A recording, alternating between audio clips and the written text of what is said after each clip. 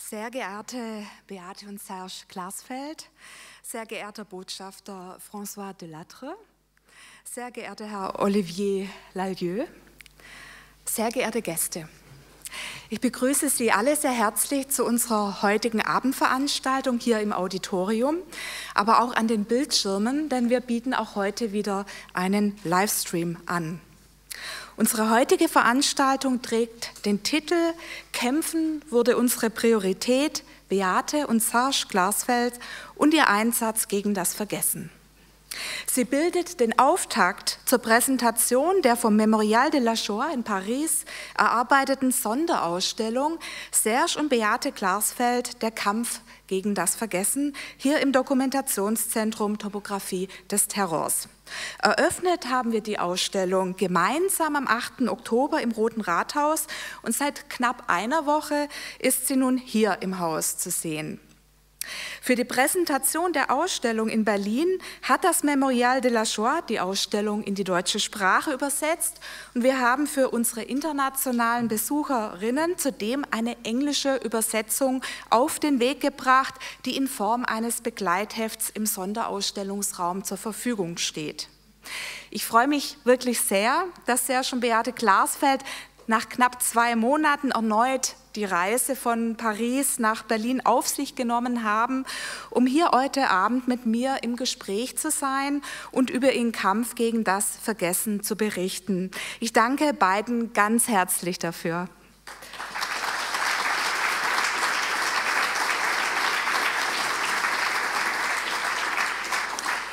Ich freue mich außerdem, dass ich auch den Kurator der Ausstellung, Olivier Lalieu, hier begrüßen kann. Und bevor ich gleich in das Gespräch mit Serge und Beate Glasfeld einsteige, möchte ich das Wort an Botschafter François Delattre übergeben, der ein Grußwort sprechen wird.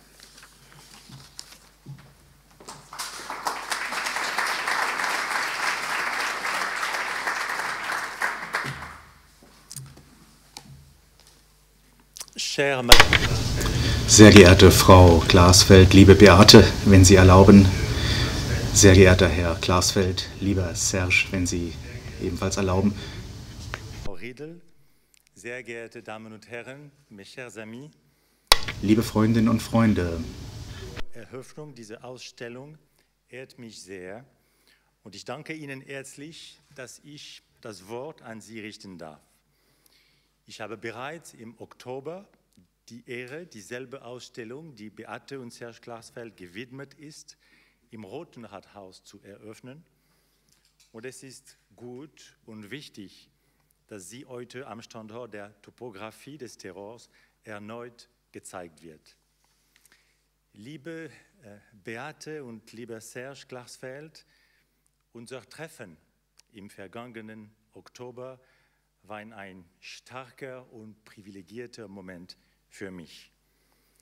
Wenn man über ein deutsch-französisches Paar zwischen unseren beiden Ländern spricht, sind Sie die Referenz und das Vorbild.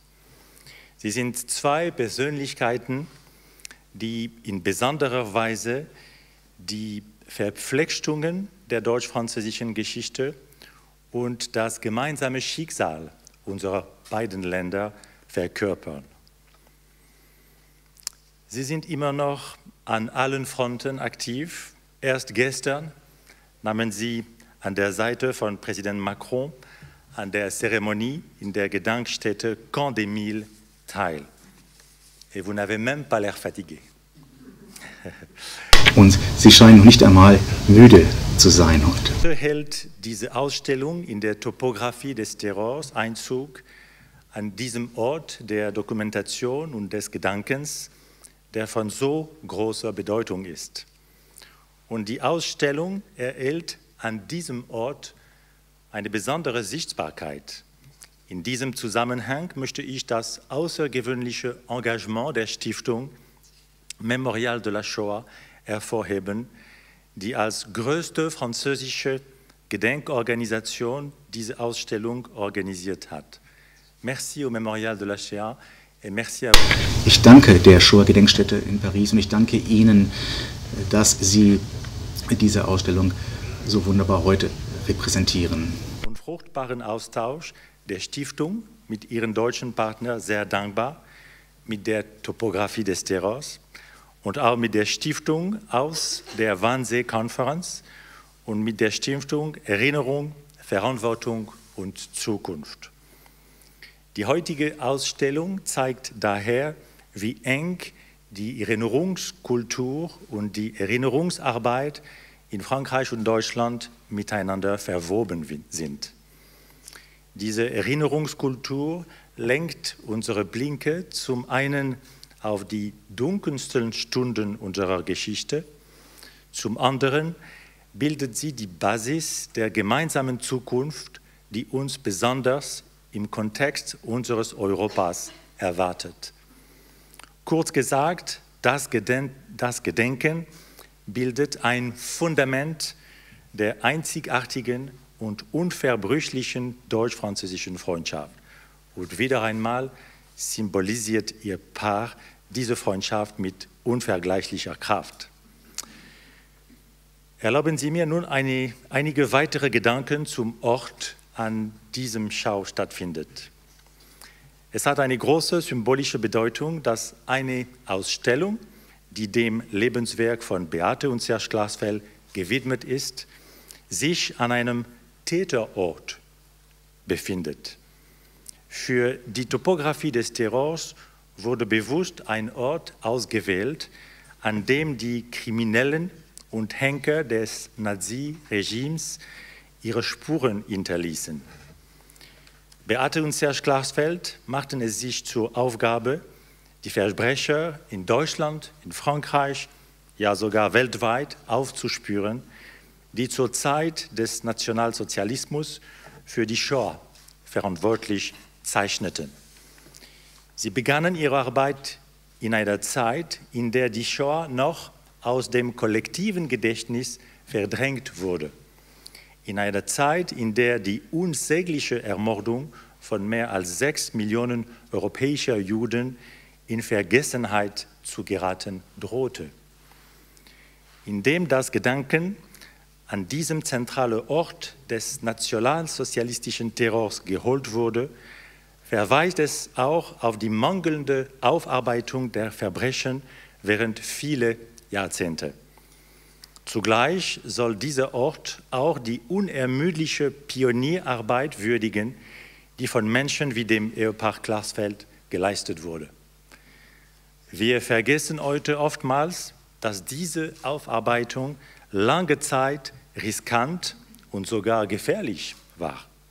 Es brauchte couragierte, couragierte und entschlossene Persönlichkeiten, um das Vergessen zu unterbinden Liebe Frau Glasfeld, cher Monsieur Glasfeld, Sie sind solche Persönlichkeiten.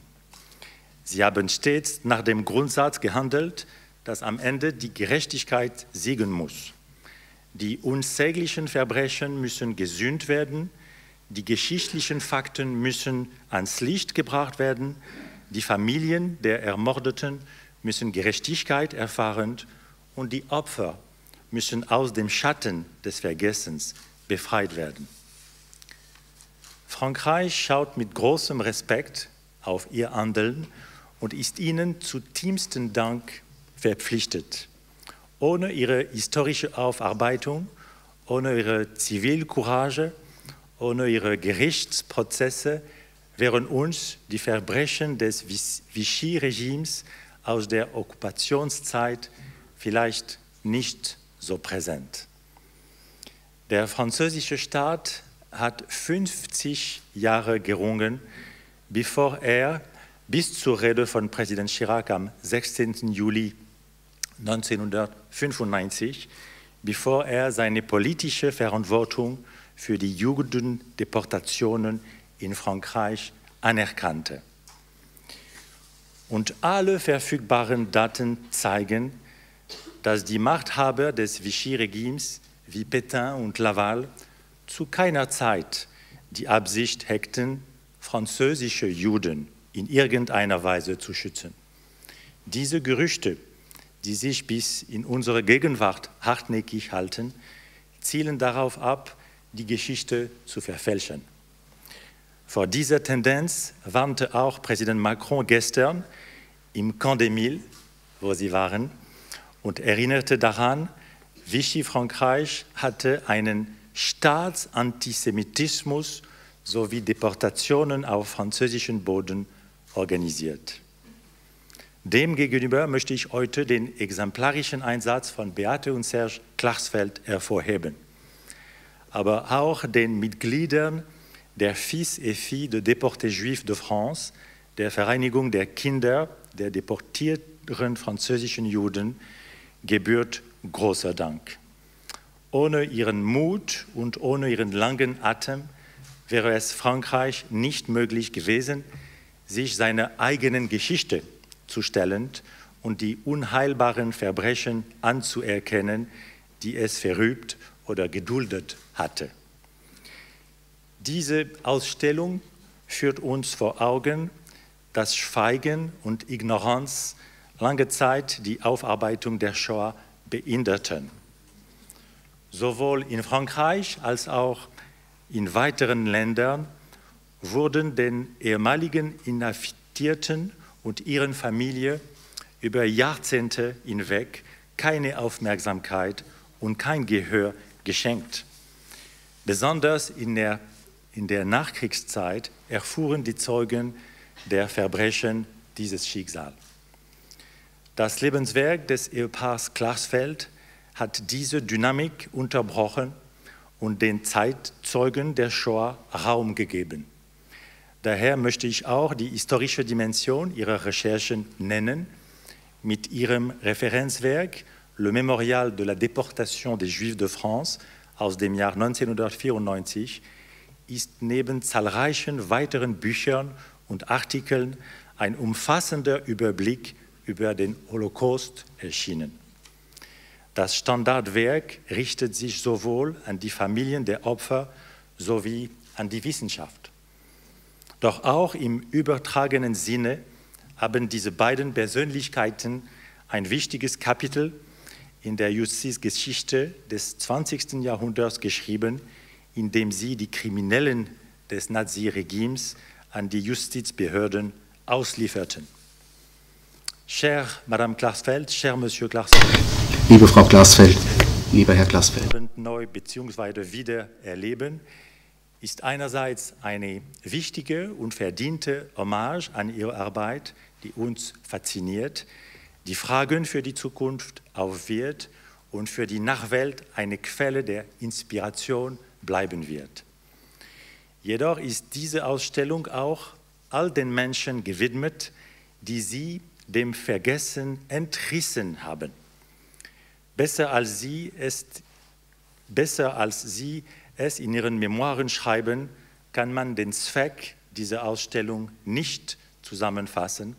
Und ich zitiere, der Holocaust hat nicht nur Millionen von Personen ausgelöscht, sondern ein Individuum und noch ein Individuum und noch ein Individuum und so weiter. Jedem dieser Menschen müssen wir ein Gesicht geben, seinen Lebensweg kennen, ihm seine Würde zurückzugeben. Sie müssen dem Vergessen entrissen werden, sie müssen aus der Anonymität geholt werden, sie dürfen nicht länger Forschungsgegenstände der Geschichtswissenschaft sein, sondern wieder zu Individuen mit einer eigenen Geschichte werden. Ende des Zitats. Meine Damen und Herren, leider müssen wir miterleben, dass Antisemitismus und Fremdenfeindlichkeit heutzutage in Europa vermehrt Fuß fassen. Und Frankreich ist keine Ausnahme. Präsident Macron warnte in seiner Rede, die er bei gestrigen Gedenkveranstaltung hielt, von einer Eskalation des Hasses. Die Reaktion auf diese Gefahr erfordert, wie Präsident Macron betont hat, das Gedenken an den Holocaust in die staatsbürgerliche Identität einfließen zu lassen. Und diese Gefahr erfordert unser, unser Engagement, unsere Mobilisierung und unsere äußerste Wachsamkeit, la Vigilance la plus extrême, das ist auch, cher Monsieur, cher Madame, das ist auch eine zentrale Botschaft dieser Ausstellung. Je vous remercie.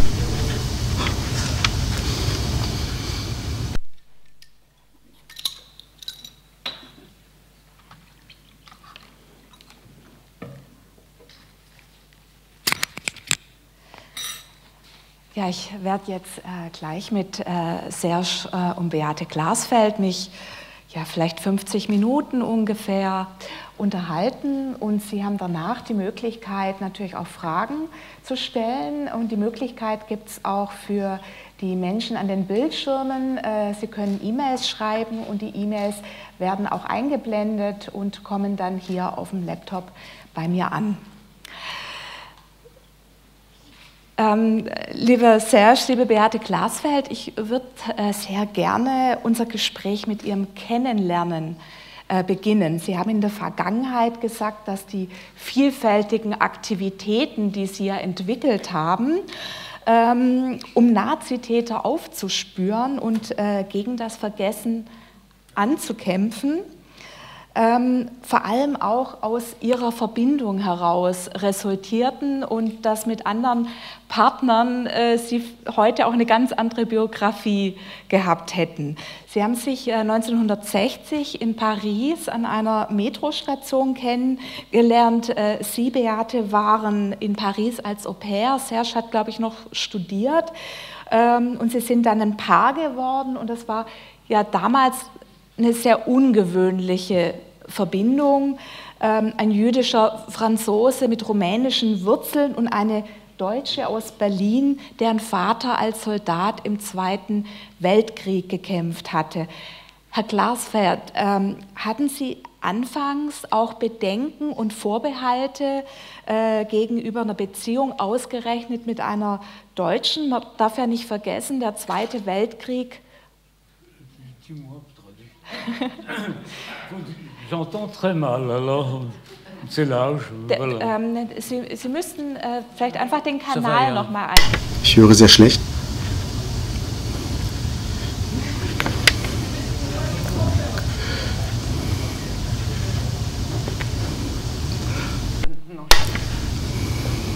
Es geht um unsere Begegnung, unser Kennenlernen. Mein Vater starb in Auschwitz. Mein Vater sprach sogar sehr gut Deutsch. Er hatte in Deutschland gelebt. Meine Mutter hatte in Deutschland studiert. Und äh, ihr Blick auf die Deutschen war fair, ausgewogen. Sie beurteilten die Deutschen nach ihrer Persönlichkeit, nicht nach einem Etikett. Sie lebten in Frankreich, meine Eltern, denn sie hatten hauptsächlich in Frankreich gelebt und sie, sie hatten sich auch in Frankreich kennengelernt. Wie ich sagte, hatten sie sich in Frankreich kennengelernt. Und da mein Vater festgenommen worden war, verhaftet worden war, hatte meine Mutter trotzdem ihr ausgewogenes Urteil über Deutschland bewahrt. Als sie dann erfuhr, dass die großen, historisch gewachsenen deutschen Städte zerstört wurden durch Bombardements, da war sie entsetzt. Das war vielleicht unvermeidlich, aber sie war traurig darüber, weil sie in diesen Städten Deutschlands gelebt hatte.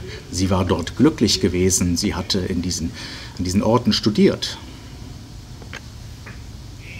Und sie beurteilte die Deutschen äh, nach ihrer individuellen Persönlichkeit.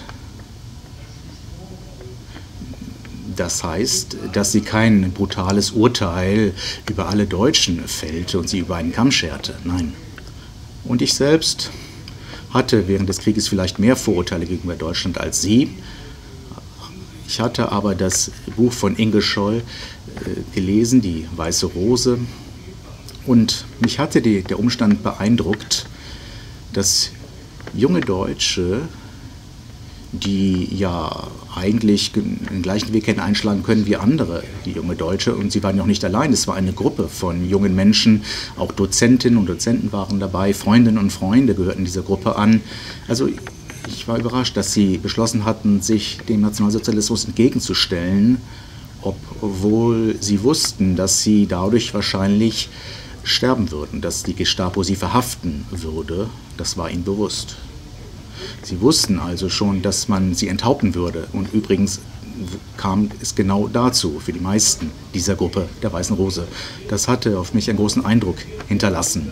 Das, ich sagte mir daher, dass es Deutsche gab, die ihr Leben opferten. Nicht nur gegen den Nationalsozialismus, sondern auch dafür, dass man Hoffnung für ein neues Deutschland hegen kann. Meine Vorurteile, die ich vorher hatte, oder meine letzten Vorurteile, fielen damit. Sie waren hinfällig. Und äh, da ich oft jeden Morgen mit der Metro, mit der Untergrundbahn fuhr und Beate auch jeden Morgen mit der Pariser U-Bahn fuhr, kam es dazu, dass wir uns dann einmal trafen. Ich sah dort ein hübsches junges Mädchen, eine hübsche junge Frau. Ich wusste nicht, dass sie Deutsche war. Ich sah, dass sie ein Buch der Alliance Française, der französischen Allianz, in der Hand hielt. Ich wusste also, dass sie eine Ausländerin war. Ich hatte versucht, sie zu verführen. Ja. Und es ist mir auch ein bisschen gelungen. Ich erhielt nämlich ihre Telefonnummer. Daraufhin rief ich sie an. Aber bei, unserem, bei unserer zweiten Begegnung habe ich ihr jedoch nicht verheimlicht, dass mein Vater in Auschwitz gestorben war, dass ich äh, Jude war. Wir saßen auf einer Bank. Ich erinnere mich, als ich ihr das äh, mitteilte. Sie, also sie, sie, sie musste sich nicht setzen, weil ich ihr das enthüllte, deshalb nicht, aber weil wir einfach unsere Beziehung aufrechterhalten haben, weil wir uns einander angenähert haben, nicht wahr? Und nun, ich glaube, wir haben die richtige Entscheidung beiderseits getroffen, denn wir waren glücklich. Wir waren, empfanden persönliches Glück und wir haben etwas aus unserem Leben gemacht. Wir haben es aufgebaut und zwar in Abhängigkeit von unserem gemeinsamen Schicksal. Das heißt, dass ich in meiner Eigenschaft als Jude und Franzose handelte und Beate handelt und handelte immer als Deutsche. Beate half mir, ich half Beate. Es war eine gegenseitige Hilfe. Ich half ihr bei der Durchführung ihrer Kampagnen und Aktionen. Sie half mir auch bei der Durchführung meiner Aktionen. Und wäre ich damals nicht an dem Ort gewesen, hätte Beate vielleicht niemals solche Aktionen begonnen. Und ich hätte es auch nicht gemacht, wenn ich Beate nicht getroffen wäre. Das zeigt doch, dass wenn die Deutschen und Franzosen sich treffen, sich begegnen und sich verstehen, dass das dann sehr, sehr gut für alle ist, auf jeden Fall für Europa.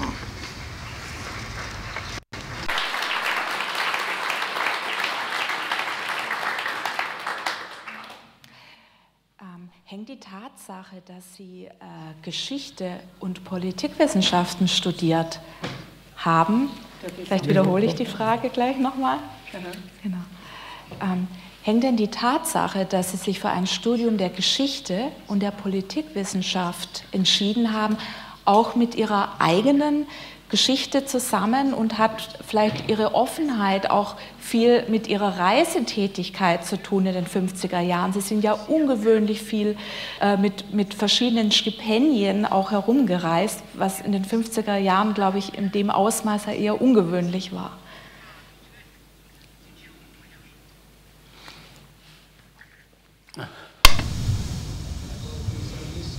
In den 1950er Jahren habe ich meine Studien beendet, meine, mein Hochschulstudium habe ich abgeschlossen an Politikwissenschaft und in Geschichte.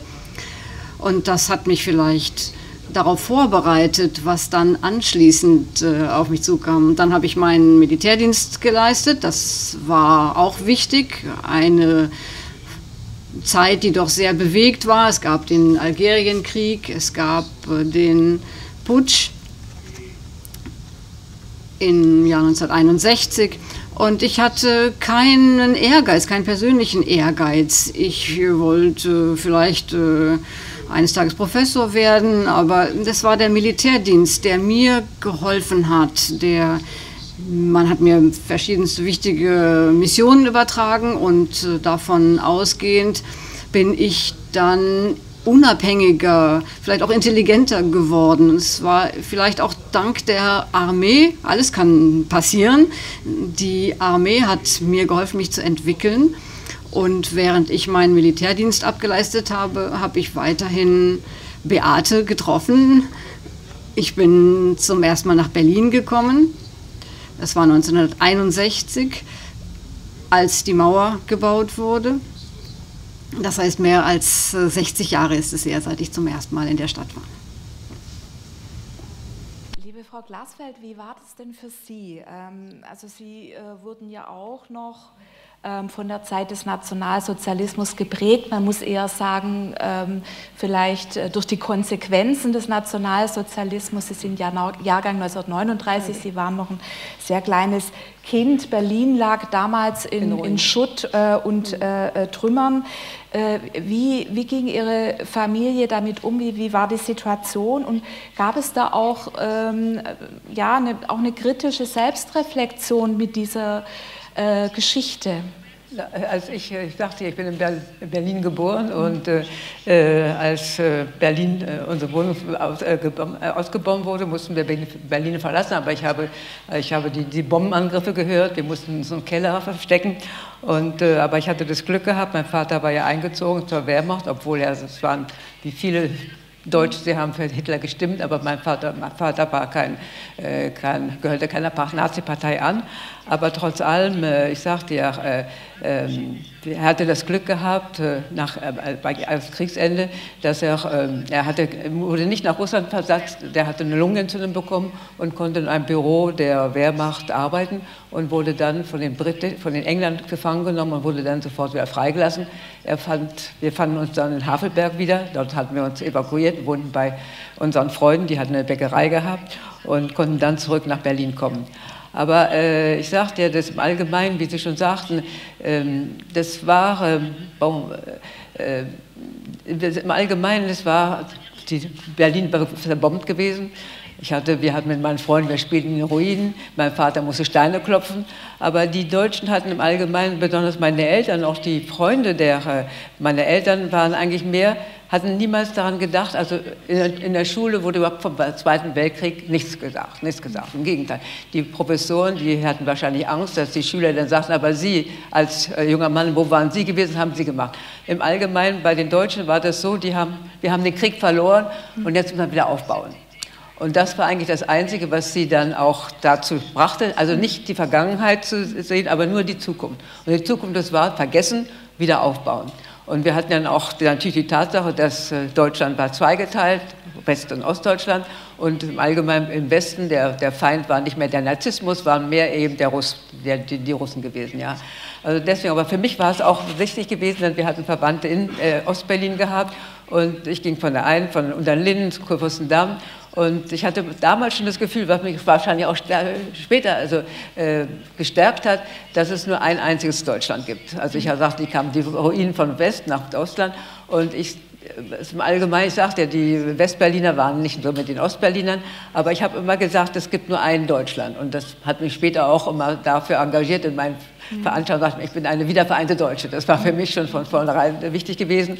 Und deswegen sagte ich, hatte, war das im Allgemeinen sehr wichtig, dass ich das erlebt hatte. Und äh, bon, ich bin dann ich hatte kein Studium gemacht, ich hatte eine Wirtschaftsschule besucht und äh, dann im Allgemeinen, bon, äh, meine, meine, Mutter sagte die 3K, Kinder, Küche, was mir nicht so gut gefiel. Und ich hatte eben die Möglichkeit gehabt, äh, eine Freundin von mir, die hatte, äh, wollte nach, die war Au pair in, in, London gewesen und wollte dann nach Frankreich, hatte schon eine Stelle gefunden und sagte, Beate, komm doch mit. Mhm. 21, meine Eltern konnten sich nicht mehr dagegen auflehnen, obwohl Paris, also für ein junges Mädchen, war ja also im Allgemeinen nicht so sehr äh, zu empfehlen. Und ich bin dann also dann nach, nach Paris gekommen und ich sagte ja, so das Glück eben gehabt, dass ich kurz danach, das war der Tag, an dem Eichmann aus, äh, von den, vom Missat entführt wurde und nach, zum Prozess nach Israel gebracht wurde, dass wir uns an dem Tag getroffen haben. Das wussten wir allerdings nicht, aber später haben wir gesagt, wahrscheinlich war das der Augenblick, dass wir uns später einmal dafür einsetzen,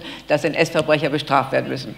Aber äh, äh, ich hatte dann auch das Glück gehabt, ich sagte, mein, ähm, wir wohnten in, ich wohnte in Boulogne, Serge wohnte äh, ähm, äh, Avenue Versailles im 16., also wir wohnten nebenan. Und Serge hatte dann gesagt, du musst unbedingt meine Mutter kennenlernen. Das hat ein bisschen gedauert gehabt. Aber dann, als ich meine Schwiegermutter zum ersten Mal traf, wie Serge schon sagte, sie hat in Deutschland studiert, sprach Deutsch. Und äh, auch meine Schwägerin äh, waren eigentlich sofort damit einverstanden, dass wir zusammenbleiben. Und meine Schwiegermutter, meine Schwiegermutter, also Serge Mutter, sagte sogar, um also wirklich die Einwilligung von der ganzen Familie zu bekommen, äh, müssen wir die Tante in Bukarest befragen. Das war die Schwester von meiner. Und Tante Lida hatte gesagt, ja, diese Frau kannst du heiraten. und das war dann eben die Ehe, die wir dann begonnen haben wir und heute noch glücklicher. 87, 83 ist schon ganz schöne Zeit. Ja, das ist wirklich eine Leistung.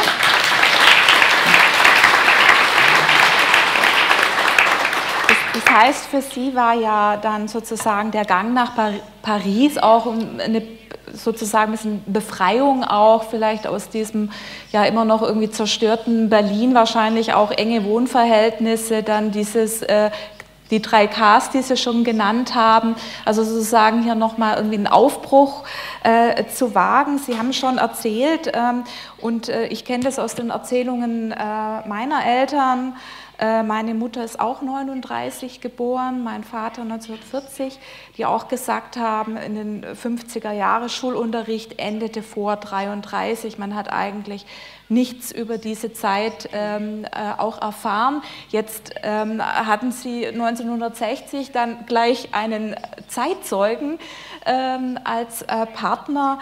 Ähm, wie, wie, wie war das für Sie? Sie haben jetzt ja auch äh, durch äh, äh, Serge, der, der ja nicht nur äh, Holocaust-Überlebender war, sondern ja auch Geschichte studiert hat, ähm, ja sicherlich einen ganz anderen Zugang ähm, zu, den, äh, zu der Zeit äh, 1933 bis 1945 vor allem, also auch in Frankreich, was die Deutschen für, für schreckliche Verbrechen auch dort äh, begangen haben. Äh, wie, wie, wie war diese Annäherung an diese Geschichte und welche Konsequenzen haben Sie daraus gezogen? Ist noch eine Frage an Sie, Frau Glaswald. Äh, Serge hatte ja auch einige Freunde gehabt, also die waren ein bisschen äh, enttäuscht, dass äh, Serge mit einem deutschen Mädchen ausgehen konnte. Ja, das war also aber Serge sagte, du bist ja, äh, du musst dich nicht schuldig fühlen, 39 Mal, aber du hast ja mindestens historische und moralische Verpflichtungen, die eines Tages mal erfüllen kannst. Mhm. Und äh, ich sagte, der Serge sagte auch, du sollst dich nicht schämen. Es gab, wie schon gesagt hat, Hans und Sophie Scholl. Und Serge sagte, das hat mich, hat Serge davon also mhm. gesagt, also du bist nicht schuldig. Also es gab Hans und Sophie Scholl, die äh, ganz genau wussten, wo sie sich, worauf sie sich vorbereiten mussten, indem sie Flugblätter verteilen gegen das Naziregime. Also sie wussten ganz genau, eines Tages festgenommen und hingerichtet werden. Und das war wahrscheinlich sehr wichtig gewesen von Serge, dass ich dann später eben auch durch diese Tatsache, dass Serge, ich sagte, Geschichte studiert hatte, dann äh, mich auch dazu brachte, etwas zu lesen, äh, etwas zu erfahren und äh, mich auch äh, dafür schon versuchte, politisch zu interessieren. Ich war dann damals schon Mitglied der SPD geworden und kannte sehr gut Willy Brandt in Berlin, äh, dass ich zumindest dachte, also irgendwie, wenn es eine Gelegenheit gibt, mich irgendwie als gute Deutsche äh, zu ähm, zu zeigen, würde ich es machen. Also die Tatsache kam ja später, das wissen Sie. Aber Serge war auf jeden Fall sicher, dass ich eines Tages mal als gute Deutsche durch eines Tages dazu auch äh, äh, zeigen konnte.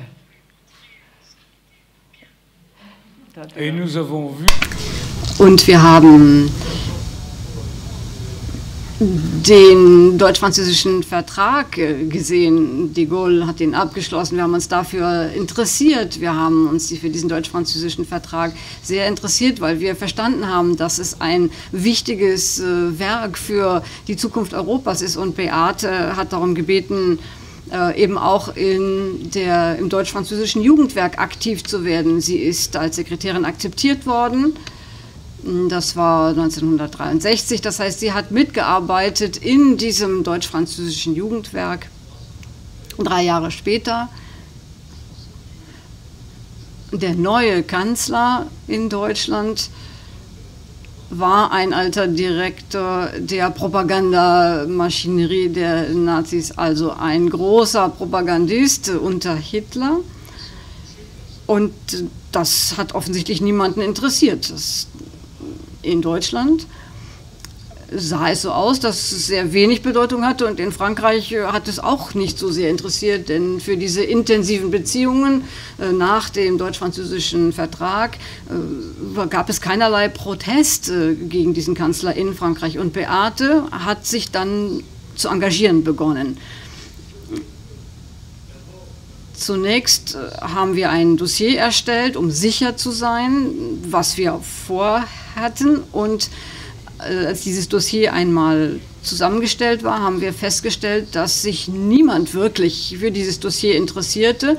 Und damit sich jemand für dieses Dossier interessiert, musste etwas geschehen, musste etwas getan werden. Nicht nur Dokumente, die erstellt wurden, sondern eine Aktion war notwendig. Und dann eine Aktion und eine weitere Aktion. Und damit ist es uns dann gelungen, äh, diese Ohrfeige zu organisieren, die dann in West-Berlin 1968 am 7. November stattgefunden hat. Und Beate war die einzige Deutsche,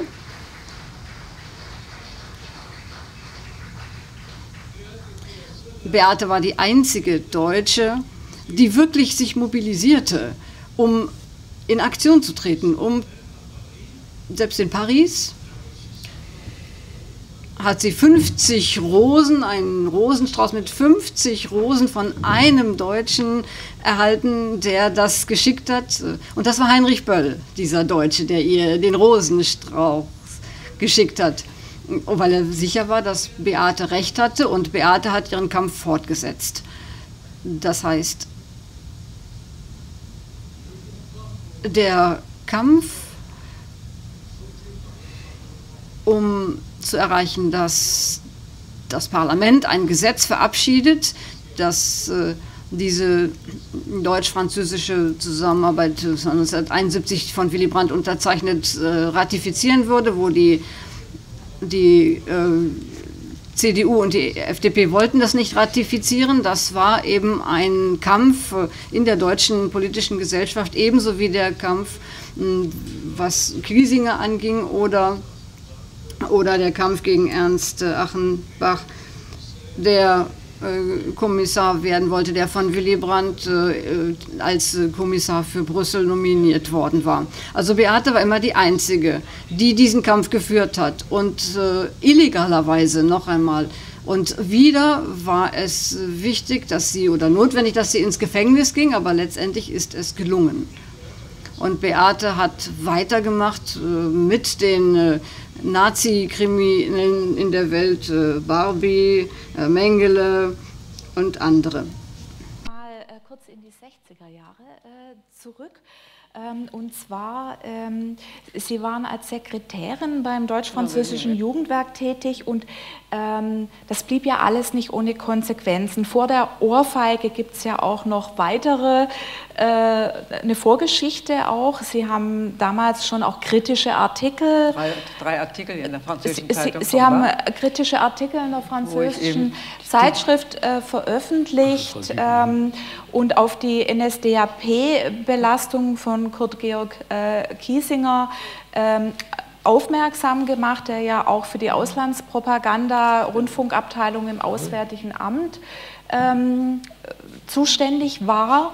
Ähm, äh, Sie, Sie haben aufgrund dieser Artikel, also das muss man ja heute noch mal vergegenwärtigen, Sie haben ja aufgrund dieser Artikel dann tatsächlich ja Ihre Stelle verloren. Ja, ich bin von einem Tag zum anderen entlassen worden, ja. Ich hatte drei Artikel geschrieben und das, der letzte Artikel eben, wo ich eben kritisierte, dass Deutschland sich einen Nazi-Propagandisten als Kanzler wählen kann. Mhm. Äh, und ich hatte aber ständig gesagt, warum, ich würde mich dafür einsetzen, ein Mann wie Willy Brandt Kanzler wird, ja. Also ich mhm. meine, mhm. ich kannte ihn aus Berlin als, als Bürgermeister und Willy Brandt als Widerstandskämpfer, das war für mich, ich hatte ja auch dann später die Kampagne geführt 1906, für die Wahlen 19 1969. Und äh, das war dieser, ich sagte ja, äh, der, der Altmaier war, äh, der war ja, das gab ja französische Seite und deutsche Seite. Altmaier war ein Widerstandskämpfer gewesen. In der deutschen äh, Gruppe waren sogar einige Nazis gewesen. Also, und ich wurde als, als Deutsche, ja, die auch schon Französin geworden war, mhm. rausgeworfen, weil ich ein, das kritisierte, dass Deutschland sich einen Nazi-Propagandisten als Kanzler will. Das war mhm. natürlich unwahrscheinlich gewesen. Als ich das Herrscher erzählte, dachte das kann nicht möglich sein. Du als mhm. Französin, wie kann man dich also da entlassen? Ja? Mhm. Und es war eigentlich der Auslöser gewesen, dass wir sagten, das deutsch-französische Führung hatte mich, also äh, wir hatten auch einen Prozess äh, geführt. Die haben gesagt, Sie können zurücknehmen, was Sie gesagt haben. Sage ich auf keinen Fall. Äh, aber jedenfalls war das für mich dann die Möglichkeit, also dann irgendwas zu tun. Also wir wollten das, wir konnten das nicht sitzen lassen. Ja? Wir haben uns dann zusammengesetzt. Serge, äh, ich rief Serge im Büro an und sagte, ich sage, ich bin aus dem Deutsch-Französischen Entlassungshaus. Was, du bist zu spät gekommen? Ich sage, nein. Manchmal kam ich zu spät, das wurde dann kritisiert. Und das war die Entscheidung, dass wir uns dann zusammengesetzt haben und also eben diese Kampagne führten. Und für uns war es Kiesinger Nazi abtreten. Das war unser Slogan, auch mit, der, mit den 68, 68er. Mhm. 86, ja. Äh, ja, das also fällt ja genau in die war, Zeit. Das ja, war ja, ja im Jahr 1968. Und jedenfalls, äh, wir hatten dann, Serge natürlich hatte dann auch, sagte ja, er wollte Ihnen erzählen, er hatte dann, er ist ja Geschichtshistoriker äh, und wir hatten dann auch Propagandaministerium, die Aktenlagen in der DDR gewesen. Serge hat den Antrag gestellt gehabt, in die DDR einzureisen und durfte dann die Akten einsehen. Er war in Washington gewesen. Wir haben, wie ich schon sagte, wir haben viele Dokumente zusammengestellt. Wir haben niemals einen NS-Verbrecher angeklagt, ohne die Dokumente und die Beweise zu haben. Und äh, diese Akten haben wir zusammengestellt. Und dann, wie wollten wir nun das dem, im Allgemeinen, ich sagte ja, äh, interessierte keinen. Ja. Also mhm. Auch die deutsche Jugend im Allgemeinen war, hatte andere Probleme gehabt. Also auf, na, auf Kissinger waren sie nicht so sehr konzentriert. Und die erste Möglichkeit, die ich hatte dann, war das in, der Bundestag war damals noch der, in, in Bonn. Ich hatte dann äh, einige, auch einige Freunde gehabt, die haben mir dann eine Einlasskarte ge ge geschickt und ich konnte auf die äh, Besuchertribüne gehen. Und als Kissinger dann seine Rede begann, schrie ich von oben, das ist ein Foto, das ist nicht das Foto von der Ohrfeige, das ist das Foto, wo ich festgenommen werde, wo ich schrieb, Nazi Kissinger abtreten. Die ganzen Abgeordneten guckten hoch, äh, mhm. musste seine Rede unterbrechen, ich wurde dann festgenommen, aber wieder freigelassen. Und dann haben wir gemerkt, dass man mit äh, gewissermaßen mit der Dokumentation, ich habe dann auch später diese, diese Akten an die ganzen Abgeordneten geschickt. Dann sagten, oh, Frau Klausfeld ist doch demokratisch gewählt, was wollen Sie denn, ja? Und wir haben dann versucht, Mittel zu finden, um ihn zum Abtreten zu zwingen, aber zumindest auch, um das, die Deutschen darauf aufmerksam zu machen. Und das war dann eben die Möglichkeit, man muss versuchen, also etwas Illegales zu tun. Das erste mhm. war schon illegal und dann eben die Vorbereitung zum CDU-Kongress in Berlin, äh, mhm. diese Ohrfeige vorzubereiten. Ja.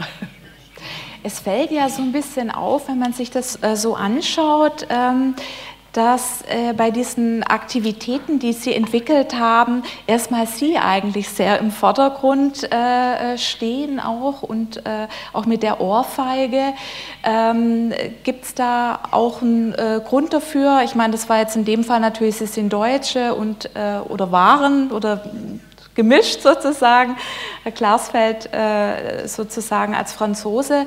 Ähm, oder gab es da, gab's da bestimmte Gründe auch, ähm, warum Sie da immer sehr in der Öffentlichkeit? Ich meine, hätte ein Jude einen, den Kissinger mhm. geohrfeigt, hätte das keinen Sinn gehabt. Ja. ja. Es war die Deutsche und ich sagte ja auch damals nach der Ohrfeige, mhm. äh, als sie festgenommen wurde und der, äh, der Richter sagte, aber Frau Klaas, Sie haben ja Gewalt angewandt. Ich sagte, eine Gewalt ist, wenn man einen Mann wie Kissinger der deutschen Jugend aufzwingt. Mhm. Das war eben die Ohrfeige der, der jungen Generation gegenüber der Nazi-Generation. Das war das Symbol. Das hätte sie natürlich nicht machen können. Ja, genau. Und ähm, war Ihnen klar, was das für Konsequenzen auch haben kann? Also ähm, das, das, war ja auch nicht ganz nein, ungefährlich, wenn die Leibwächter das als äh, tätlichen Angriff begriffen hätten. Natürlich auch, sie sind auch erstmal festgenommen worden. Was, was hatte das dann unmittelbar für Konsequenzen für Sie? Im Allgemeinen, es war die, äh, der Zeit, wo der Kennedy äh, ermordet wurde und äh, Martin Luther King und äh, allgemein natürlich, äh, ich hatte eben auch das Glück gehabt, ich hatte dann einen eingeweiht gehabt, einen Fotografen vom, äh, vom Rühler, vom, vom Stern und äh, wir sind zusammen, also dann zum Kongress, in die Kongresshalle gegangen und er war vorbereitet. Bloß als ich in die Kongresshalle kam, ich hatte auch eine Karte noch für Combat, die hatten mir eine Karte gegeben, also ich kam auf, damals gab es nicht die Kontrollen wie heute und äh, überrascht war ich, dass die äh, dass die Tribüne unten sehr breit war. Also es war unmöglich, von vorne Kiesinger zu ohrfeigen, musste von hinten geschehen. Und äh, ich sagte dann, äh, ich sagte, ich jetzt, du bist jetzt oben, du hast den Futterapparat, ich gehe jetzt langsam runter. Als ich auf die eine Seite kam, sagte der die, die, die Saalwächter, Sie können nicht hierhin vorbeigehen, das ist unmöglich. Kiesinger bereitet seine Rede vor. Ich sagte, aber auf der anderen Seite steht eine Frau, das ist meine Freundin und eine Journalistin. Ich sagte, nun gehen Sie mal. Und im Augenblick, wo er sagte, nun gehen Sie mal, war die Sache gelaufen. Und ich sagte, als ich hinter Kissinger stand und er drehte sich um, also deswegen war die Ohrfeige nicht auf die Backe, sondern aufs Auge. Das Foto, er musste sich einen Augenarzt holen, eine, eine Brille aufsetzen, das war die braune Farbe der Sonnenbrille, wie auch der Nazi-Partei. Und äh, jedenfalls, jedenfalls, er sagte auch, ach, das ist die Klarsfeld, das ist ganz klar. Ja. Aber ich bin dann festgenommen worden und am Abend selbst äh, die, äh, festgenommen worden und dann der Prozess wurde dann auch sofort vorbereitet. Aber Zerf hat ja damals schon vorbereitet gehabt, sagt, wenn du das in West-Berlin tust, äh, als, als, Französin, äh, ist es für dich eine Möglichkeit, dass du da nicht ins Gefängnis gibst. Mhm. Und wir hatten auch, Zerf hatte ja eine, eine, eine äh, Professorin befragt, die Rappel, ne?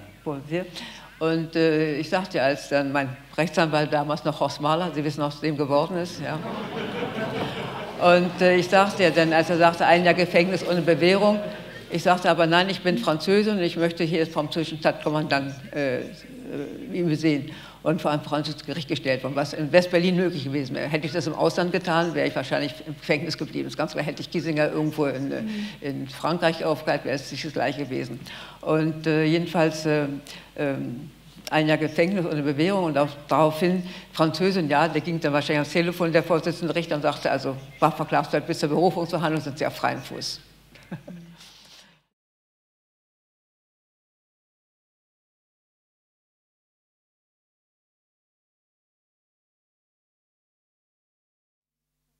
ein. Sie haben Lischka, glaube ich, auch äh, 73 auch nochmal mit, mit einer Pistole bedroht. Äh, also die, die Ohrfeige, also es wurde sozusagen, ihre Aktivitäten, äh, wie gesagt, wurden abenteuerlicher.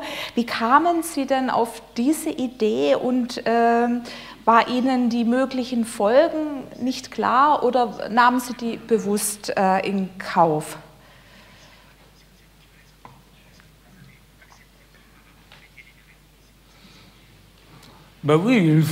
Ja, ja.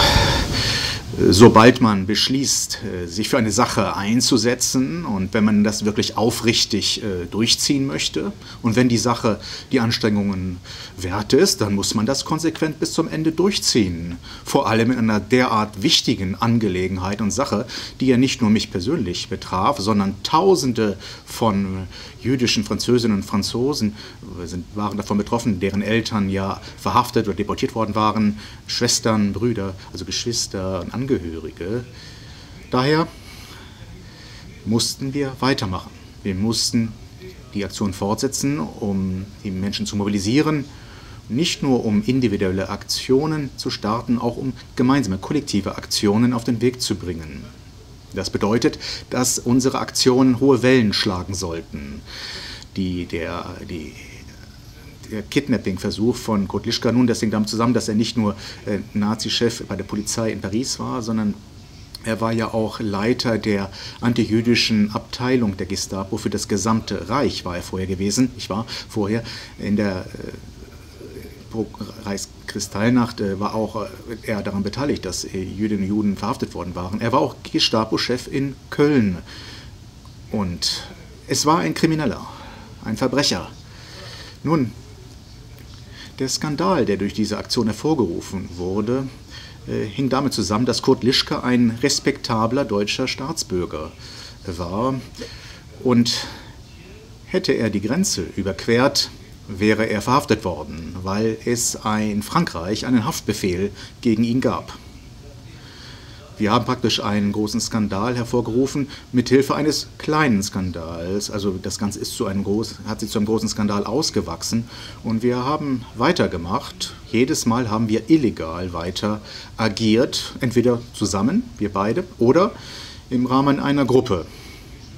Nach und nach äh, scharten sich junge Menschen um uns in unseren Aktionen und wir sagten jedes Mal, dass wir weitermachen würden, bis der Deutsche Bundestag die, das deutsch-französische Rechtsübereinkommen unterzeichnen würde und bis dieses Übereinkommen auch von der deutschen Justiz angewandt werden würde. Bis dahin. Und es ist uns gelungen, dass es dazu kam. Und dann kam es so, dass einige Mitglieder unserer Gruppe in Deutschland äh, dann verhaftet worden sind. Sie kamen ins Gefängnis, aber nach einigen Tagen hat man sie wieder freigelassen, hat die deutsche Justiz wieder freigelassen, man wollte sie nicht behalten oder sie wurden von der Polizei an die Grenze zurückgeführt.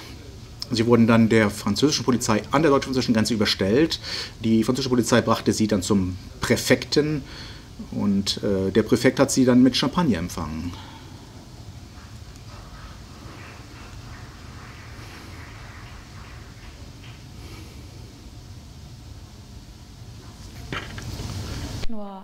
Aktivist, sondern äh, wie gesagt Historiker und äh, haben sich auch verdient gemacht bei der Erforschung der Verfolgung und der Deportation der in Frankreich lebenden äh, Juden, die deutsche Besatzungszeit in Frankreich haben ja ungefähr 76.000 französische und staatenlose Juden nicht äh, überlebt.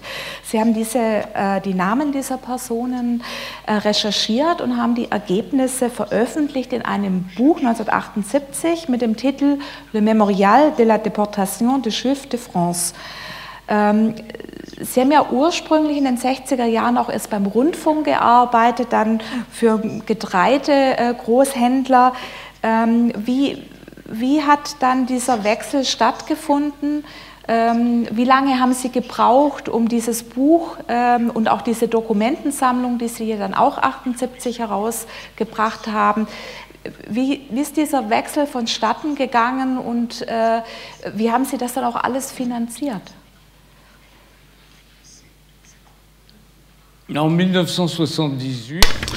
Im Jahre 1978 arbeitete ich zwei oder drei Jahre lang an diesem Gedenkbuch.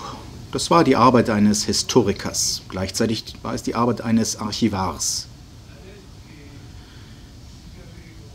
Ich äh, begab mich im Zusammenhang in das zeitgenössische jüdische Dokumentationszentrum, also zur Shoah-Gedenkstätte in Paris.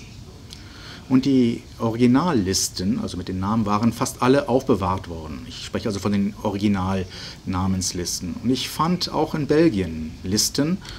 Ich fand ebenfalls bei der internationalen Forschungsabteilung des äh, Roten Kreuzes solche Listen. Ebenfalls fand ich Listen in Auschwitz, auch in Belgien. Ich stieß auf solche Namenslisten auch in den Vereinigten Staaten von Amerika. Und dann habe ich äh, diese Liste praktisch für jeden einzelnen Konvoi, für jeden einzelnen Bahntransport neu erstellt. Und ich verband das mit der jeweiligen Geschichte der Individuen. Ich bediente mich auch der deutschen Archivbestände.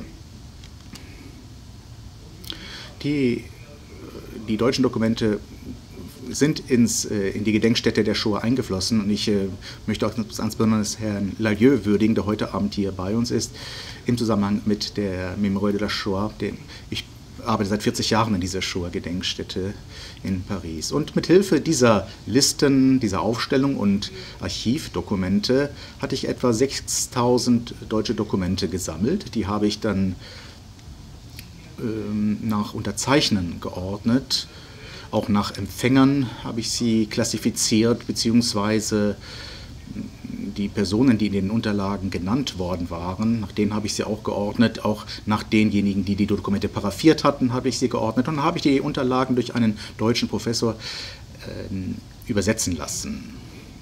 Und dann verfügte ich also über eine umfangreiche Dokumentation. Im Übrigen, da Beate und ich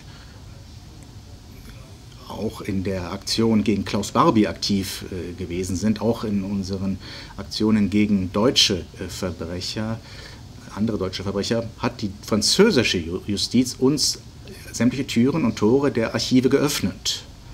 Und dann im Laufe der Zeit, als äh, François Mitterrand französischer Staatspräsident wurde, hat auch er, Mitterrand, äh, die Archive für uns zugänglich gemacht. Ich war der Erste im Übrigen, der diese Archive äh, sehen konnte, und zwar die Archive des Innenministeriums, des Ministerrates, die Archivbestände des Justizministeriums in Frankreich. Ich war der Erste, der sie einsehen konnte, eigentlich die Archive aller Ministerien. Und ich habe auch alle Archive der Departements äh, besucht,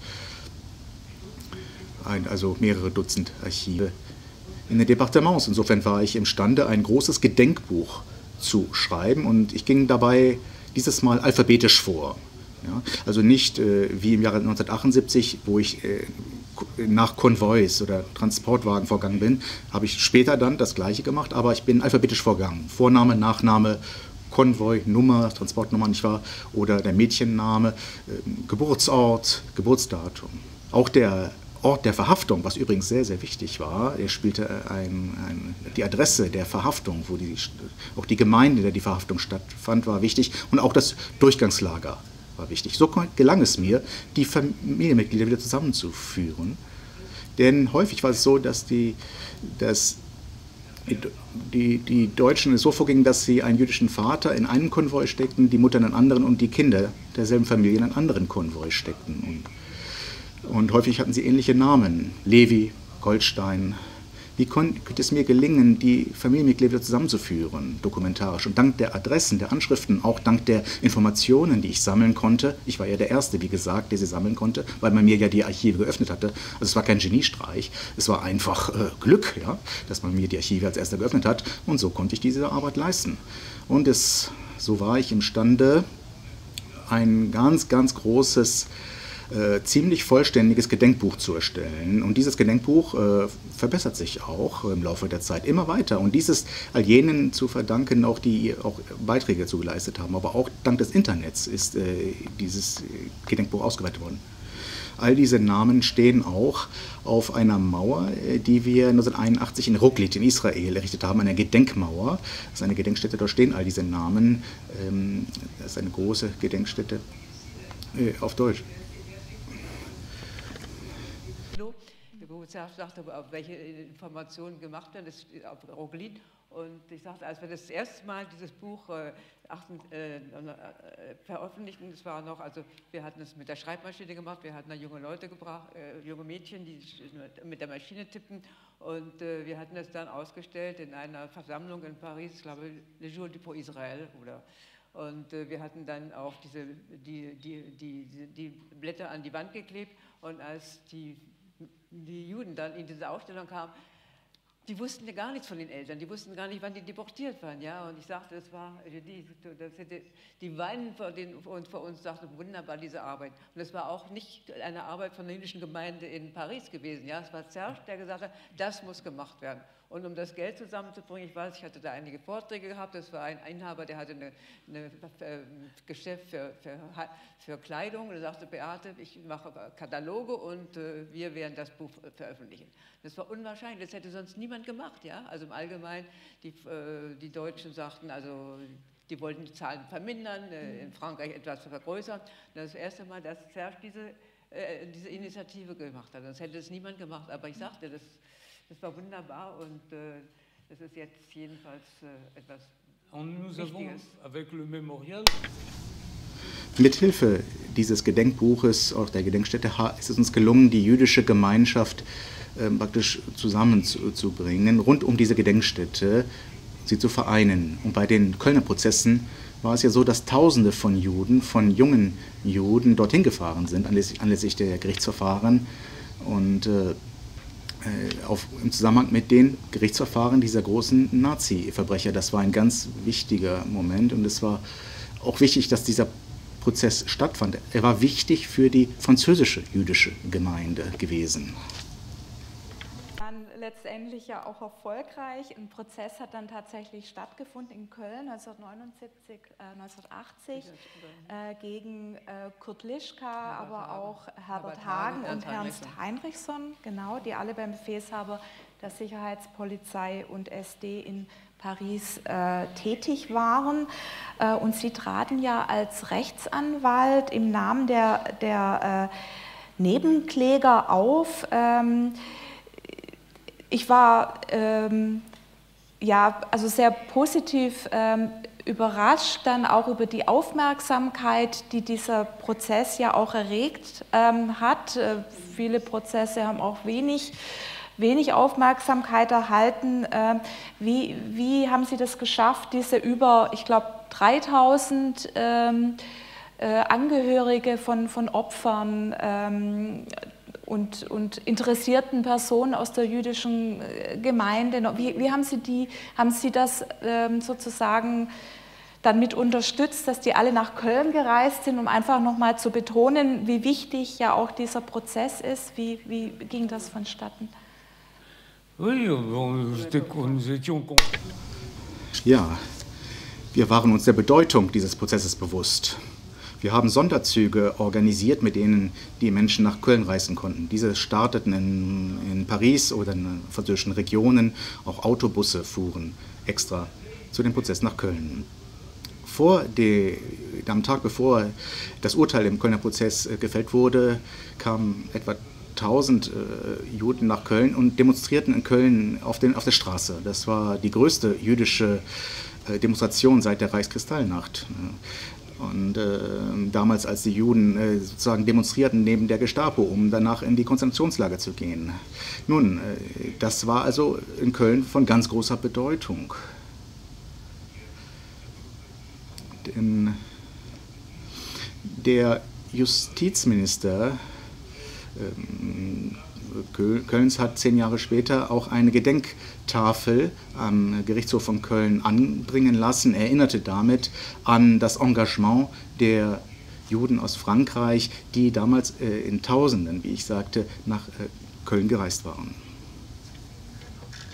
mit dem Urteil. Also Lischka ist zu zehn Jahren äh, verurteilt worden, ähm, Hagen zu zwölf, Heinrichson zu, oui, zu sechs. Oui, bien entendu. Das war ja nicht ver Verbrechen gegen Menschen. Bien entendu, puisque ja Natürlich, natürlich. Also man konnte nicht über 15, 15 Jahre war die Höchststrafe gewesen. Aber die meisten waren von, von den Alliierten gefangen und es wurde abgerechnet und äh, also im Allgemeinen, sie saßen. Le Code le Code Penal das, Deufe, das deutsche Strafgesetzbuch sah vor, dass in den 1950er Jahren ein Deutscher, der einen Juden getötet hatte, oder eine Jüdin, ja, einen, hätte es mehrere direkte Zeugen der Tat gegeben, deren Zeugenaussage man aufgenommen hätte, dann wäre dieser manchmal sogar bis zu 20 Jahren verurteilt worden, zu einer Gefängnisstrafe von 20 Jahren, manchmal auch zu lebenslanger Haft. Wohingegen die großen Verbrecher, die Tausende von Juden und Jüdinnen zusammengepfercht hatten, um in die Vernichtungslager zu transportieren, die wollte man nicht verurteilen. Die deutsche Justiz, die deutsche Gesellschaft wollte diese Leute nicht verurteilen und die deutsche Justiz ähm, war sehr gefolgsam, sehr hörig gegenüber der Politik der deutschen Politik. Sie ist übrigens immer noch sehr hörig, denn äh, die Deutschen möchten ja, dass die Nazi-Verbrecher verurteilt werden, auch wenn sie schon sehr alt sind, also bis, sie, bis zum letzten, äh, solange sie leben, nicht wahr? Und jetzt werden eben Straftäter äh, aus der Zeit verurteilt, die eine geringere Rolle äh, gespielt haben, nicht wahr? Und die werden praktisch heute automatisch äh, verurteilt. Fast automatisch werden diese Leute, nun diese Verbrecher, aber in geringerer, geringerer Verantwortlichkeit verurteilt. Aber uns ging es um große Verbrecher wie Lischka und Hagen, die in Köln verurteilt worden sind. Äh, diese äh, hat man eigentlich vorher ja nicht verurteilt oder nicht verurteilen wollen. Oder man war sehr nachsichtig ihnen gegenüber gewesen oder im Laufe des Ermittlungsverfahrens hatte man festgestellt, dass sie krank waren, dass sie nicht verhandlungsfähig waren und dann äh, lebten sie noch viele lange, Jahre ohne verurteilt zu werden. La seule personne qui a été libérée, c'était Heinrichson. Il avait été maire en Bavière, à Mittenberg. Non Et zusammengetragen, ich glaube, waren 80.000 Mark damals, dann wurde er auf freien Fuß gesetzt. Natürlich Protestation, er kam wieder ins Gefängnis, aber zumindest im Allgemeinen, sie saßen vielleicht vier, drei oder Genau. vier Jahre im Gefängnis, also aber zumindest, äh, es gab ja auch, ich sagte ja, das war im Allgemeinen, wir hatten ja, auf, wir hatten ja Lischka besucht in seiner Wohnung und äh, ihm die Dokumente gezeigt. Sie haben das unterzeichnet, das habe ich nur administrativ unterzeichnet. Ich wusste gar nicht, was ich unterzeichne. Und sagte, von der deutschen Justiz habe ich nichts zu fürchten, sagt er uns. Ja. Und für uns war das dann auch für die Opfer, sagt er, unsere Freunde, die von Söhne, Töchter der Deportjuden aus Frankreich, das war eine Erleichterung, als sie sahen, dass er, der glaubte, von den Deutschen niemals verurteilt zu werden, doch verurteilt wurde und ins Gefängnis musste.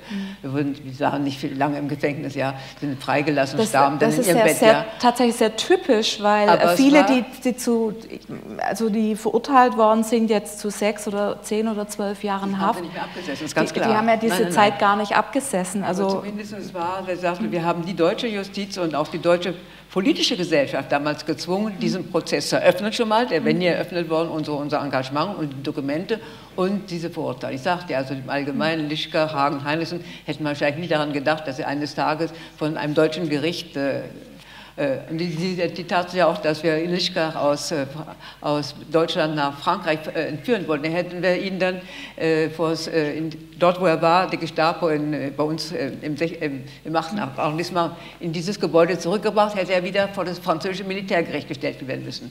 Aber das hatte nicht geklappt, nicht? Die Entführung klappte leider nicht. Sie sehen das auf den Fotos.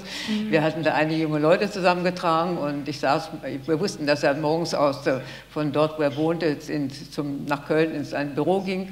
Und äh, dann sagten wir, wir, müssen, wir haben ein Auto gemietet gehabt aus Frankreich, einen großen Mercedes. Als wir ankamen, war es ein Sportwagen gewesen, ja. Und äh, dann jedenfalls derjenige, der äh, ihn dann äh, schlagen sollte auf den Kopf, das klappte auch nicht. Und dann kam jemand aus der Polizei, das war ein, Priva also ein Privatmann, also jemand, ich glaube ein, Kontro ein Kontrolleur, der sah die Sache und natürlich, für uns war das natürlich gefährlich und wir sind dann wieder weggegangen. Ja. Aber zumindest war der Versuch gewesen und Sie sehen ja die ganzen Fotos, er läuft davon äh, und er wusste ganz genau, dass wir ihn aufgesucht haben und die Gefahr, dass wir ihn auch eines Tages mal wieder äh, entführen konnten. Aber es hatte nicht geklappt, aber zumindest der es war, hat einen großen Skandal ausgelöst und ich sagte, das war eben die Möglichkeit, äh, dass der Prozess eröffnet wurde. ähm, Sie haben schon die veränderte Rechtsprechung.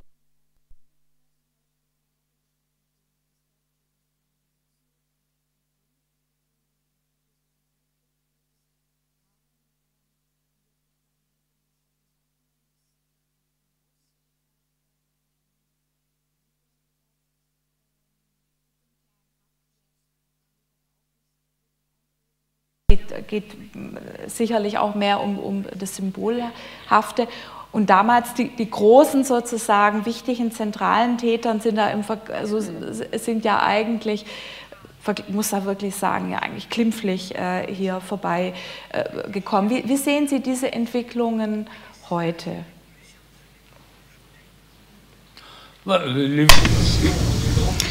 Die großen Nazi-Verbrecher, diese Entwicklung, die großen Nazi-Verbrecher leben nicht mehr. Sie sind seit 20 Jahren tot, man kann sie nicht mehr verurteilen. Man kann jetzt nur das Nazi-Verbrechen über kleine Verbrecher, die damals ganz jung waren, da, die kann man noch verurteilen. Das sind Verurteilungen, die fast automatisch inzwischen erfolgen, die trotzdem interessant sind. Denn wenn man das Beispiel äh, des äh, Lagers Stutthof sehen, der Wächter, der äh, gerade verurteilt wird, das erlaubt es, noch einmal hervorzuheben, was in diesen Lagern passiert ist und genau zu verstehen, wie das System funktioniert hat. Aber äh, er äh, wird am 20. Dezember, glaube ich, verurteilt werden. Es ist klar, m, entsprechend der Zeugenaussagen und nach den Dokumenten, die es gibt und auch nach dem Besuch in dem Lager, äh, die die Jury dieses Gerichts äh, äh, gemacht hat, ist es klar, dass er nicht, äh, nicht wissen konnte, dass er in einem solchen Lager arbeitete, wo man äh, die Menschen misshandelte und wo man systematisch die Gefangenen auch umbrachte. Das heißt, er wird verurteilt werden, aber das ist das Nazi-Verbrechen als solches, was verurteilt wird. Und die Person selbst, er, hatte, er war 18 Jahre alt, äh, das ist, er war in diesem, das ist nicht so wichtig, also er war nicht einer der großen Verbrecher. Und trotzdem,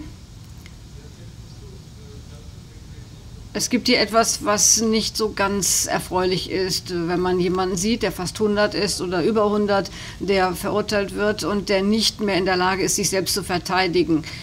Es ist ein bisschen ein Unwohlsein, was sich da einstellt, aber es ist auch gleichzeitig ein Widerspruch, man, den man nicht auflösen kann. Man möchte das Nazi-Verbrechen verurteilen, deswegen muss man eben sich an Menschen äh, wenden, die eingebunden waren in dieses äh, Nazi-Regime und äh, der Gesellschaft einen Dienst geleistet haben. Und jetzt müssen wir der Gesellschaft den Dienst leisten, der deutschen Gesellschaft zu zeigen, dass wir den Willen haben, dieses Nazi-Verbrechen als solches zu verurteilen. Und die deutsche Justiz antwortet eben auf dieses Verlangen der deutschen Gesellschaft, so wie es vor 60 oder 70 Jahren der Fall war, als sie auch damals, äh, als damals eben es nicht gefordert wurde, dass diese Verbrecher verurteilt werden. Wir waren im Prozess gewesen, ich habe unser Mitglied äh, begleitet, im Prozess in Hamburg gegen äh, Bruno Dai. Also wir haben ihn reinkommen sehen, also ich sagte ja, er war im Stuttgart gewesen, unser Mitglied der, der Fiese 4. Und äh, wir waren auch im Prozess dem, dem Januk damals in München gewesen. Wir haben gesehen, also die kommen dann auf einer Bar rein, sprechen überhaupt nicht. Und auch in Hamburg, Bruno Dai, also er hielt immer ein, ein Heft vor sein Gesicht. Und äh, kein Bedauern, ja, also im Allgemeinen, sie redeten heraus, sie wussten nichts und äh, bon, ich weiß nicht, was, das ist, glaube ich, nicht gesprochen worden, aber wir waren dort gewesen, wir haben gesehen, wie die Sache verläuft, ja, also... Ja. Das war aber ja auch bei dem Bachmann des Aber das Wichtigste ist ja. auch, dass die Zeugen, ja, wir, äh, unser Freund kam aus, äh, aus Paris, aber wir sehen ja den Prozess, wir sehen ja entweder über Zoom oder sie kommen selbst, sie kommen aus Australien, kommen aus Amerika und berichten, was geschehen ist. Und es ist vielleicht für die Jugendlichen heute wichtig, dass in diesem Prozess Geschichte aufgearbeitet wird. Die Zeugen sprechen, was ihnen geschehen ist, ja. Und das ist mhm. vielleicht etwas Wichtiges, also die, dass diese Verbrecher nochmal ins Gefängnis kommen, das können wir nicht erwarten. Aber zumindest sie werden bestraft, mhm. verurteilt. Mhm. Ob sie das Urteil absitzen müssen, wissen wir nicht, aber zumindest hat sich was geändert. Ja. Die, die Richter sind heute junge Leute, nicht wie damals. Und die sind, wollen heute nochmal tun. Und wie gesagt, das ist Wiesenthal, bis zum letzten Augenblick muss man eben versuchen, sie äh, zu bestrafen. Mais nous, nous. Nous wir wollten niemals äh, die kleinen Kriminellen verurteilen. Wir wollten diejenigen verfolgen, die eine fantastische Ausbildung erhalten hatten unter der Weimarer Republik. Das war unser Ziel, die wollten wir verfolgen, weil wir freie Schiedsrichter sein wollten und größer als die, die nur schlecht ausgebildet waren. Das heißt, wir haben uns, wir haben eigentlich im Jahr 2000 aufgehört mit der Arbeit, denn diese Kategorie der Nazi-Verbrecher existierte zu diesem Zeitpunkt bereits nicht mehr. Jetzt noch auf viele Aktionen eingehen, äh, die Sie, ähm, äh, ja, die Sie auf die Wege gebracht haben. Sie waren an vielen Demonstrationen auch beteiligt. Ähm, ähm, also da gäbe es noch sehr, sehr viel äh, zu sagen, aber ich glaube, das kann man sich auch noch mal genauer in der Ausstellung auch noch mal äh, anschauen. Ähm, mich interessiert jetzt noch mal ein anderer Aspekt. Ähm, Sie haben ja in Ihren Erinnerungen auch geschrieben, es gab so einen Zeitpunkt, wo Sie sich entschieden haben, wir wollen kämpfen gegen das Vergessen und wir wollen diesen Kampf auch gewinnen. Und da würde mich jetzt interessieren, wenn Sie jetzt heute so auf die Welt schauen, ähm, äh, oder auch nur auf Deutschland und Frankreich, äh, haben Sie dann das Gefühl, dass Sie Ihren Kampf gewonnen haben? Nein, wir haben einen Beitrag geleistet. Wir haben gegen das Vergessen gearbeitet, wir haben Werke, historische Werke erstellt, die Referenzwerke sind. Aber der Kampf selbst, die Zukunft unseres äh, Erinnerns äh, der Shoah, äh, der Juden ist garantiert. denn wir haben Millionen von Dokumenten in Yad Vashem in Jerusalem. Wir haben im Holocaust-Museum in Washington Millionen von Dokumenten, in New York.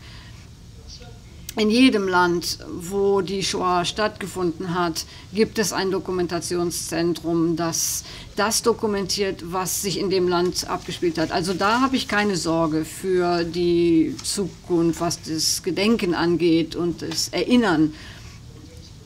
Aber im politischen Umfeld ist es ein wenig anders, wenn das politische Umfeld äh, diese Gedenkstätten der, des Holocaust äh, zerstört, dann sehen wir uns äh, einer anderen Situation gegenüber. Das heißt, man muss dieses Gedenken weiter verteidigen, man muss das, gegen das Vergessen weiter kämpfen und politisch gesehen haben wir jetzt die besten Bedingungen für die Demokratie, das auch zu tun. Ganz einfach.